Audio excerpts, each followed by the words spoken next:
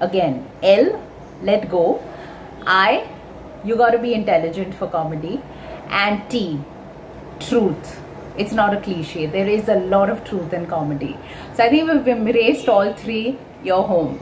when you are not wanting to be funny or you don't want to make somebody laugh it's about uh, how honest and how truth you are and the whole fun of how you connect things from point a to point b uh, which brings the humor out so for example once santa was feeling happy and after a few moments happy got up and went away I think comedy is saying the obvious truth, or at least the truth that no one else is paying attention to, or saying a lie that fits perfectly. That also works.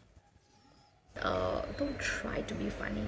Uh, you do not have to put any kind of efforts uh, to be funny. Just, just be yourself, and uh, yeah, and let go with the flow.